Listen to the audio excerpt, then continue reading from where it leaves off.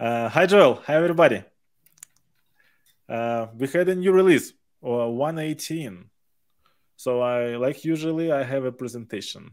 So let's jump right in.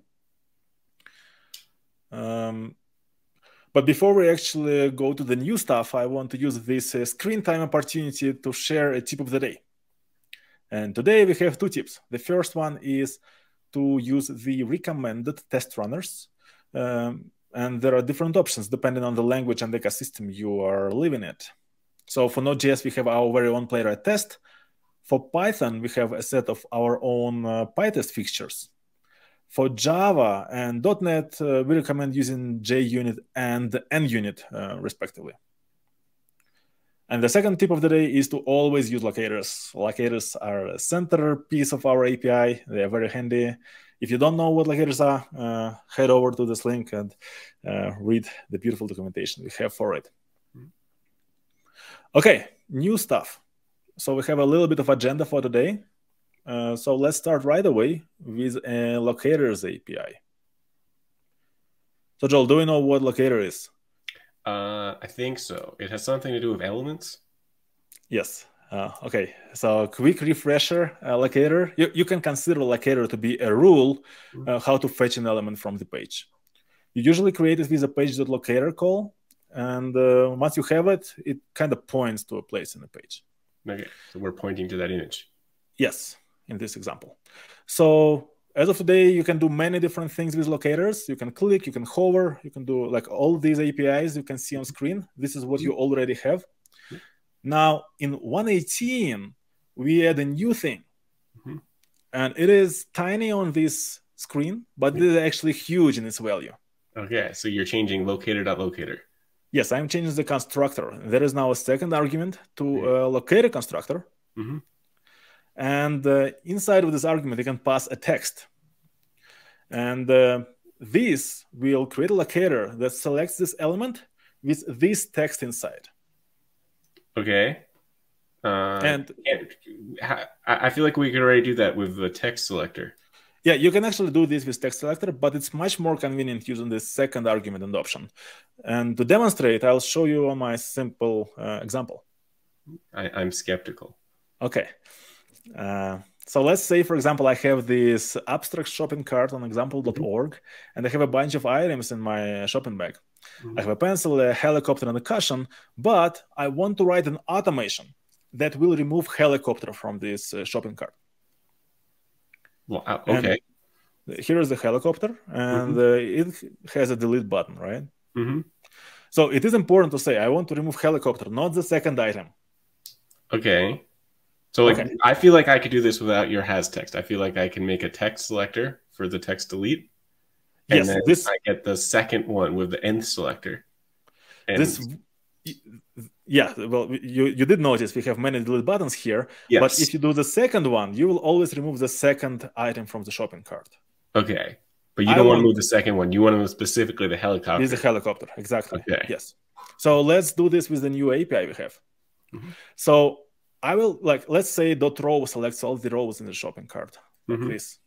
Now I can use this has text option to specify the locator to only select the row that has the helicopter inside of it. Okay. And uh, you do notice that my helicopter here is all small caps. Yeah. Even though my helicopter in my web page uh, has capital H, mm-hmm. but since we do case insensitive uh, substring match, it doesn't matter. Okay. Okay, now I can actually chain locators. Mm-hmm. I can do dot locator and uh, select an input with text delete. Oh, okay. Okay, I see where I was. So this is different from a text selector where you would, in the first line, when you, if you did text equals helicopter, you would select the helicopter text itself. Yes, but exactly. That text does not have a delete button in it.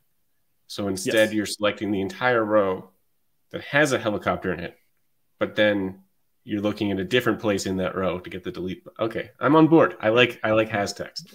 Good recap. Awesome. And mm-hmm. finally, yes, I can I can click it. You see, like okay. this.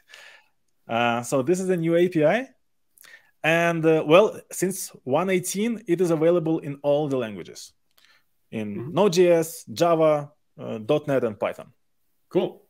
Okay, but historically, um, this has not been the case for some of our features. So now I want to do a short uh, recap of uh, other features. Mm-hmm.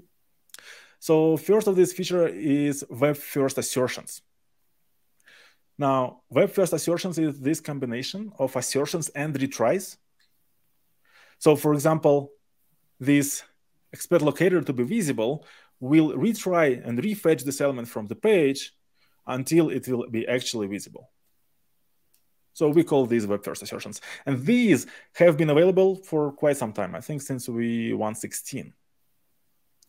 Now, this has been kind of an experiment, and it proved to be a very successful experiment, very handy for all kinds of automation. So with this release, we actually bring into other languages, mm-hmm. to Java and Python, and it will come to .NET in future release. Cool. Awesome. Next feature, oh yes, and we have documentation links uh, for each of these languages. Next feature is API testing.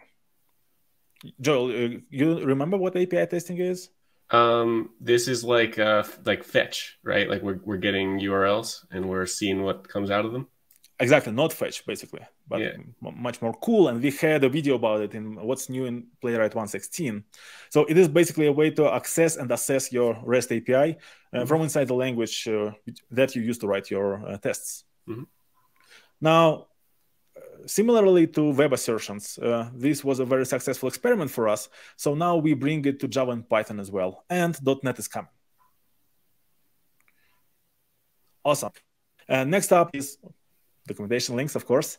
And mm -hmm. the next up is tracing update. And okay. uh, tracing, quick recap. Yeah. Joel, uh, you, what's tracing? What's tracing? I'm going to put on the spot here. So tracing is um, when you run your test, you can turn on tracing and we give you a trace file and then you can view it in the trace viewer and you can see all the steps that ran in your test and all the code in your web page and any errors and the yes, screenshots yes. and the clicks and um, you can see the performance information and the network requests and the css and the DOM and everything. everything. yes yes it's very very handy for postmortem debugging and this right. is what a trace viewer looks like mm-hmm.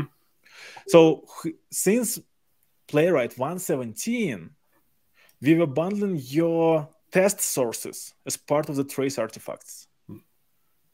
But now we also do the same thing for Java, Python, and .NET. Which okay. means... Oh, okay.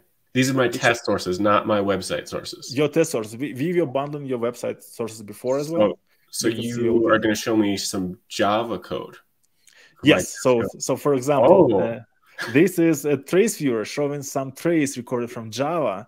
And okay. on the right hand side, you have this sources panel. Inside this sources panel, you can see your actual your test code that yes. is actually aligned is with your playwright actions. Yes, I didn't write my website in Java. I wrote my test in Java.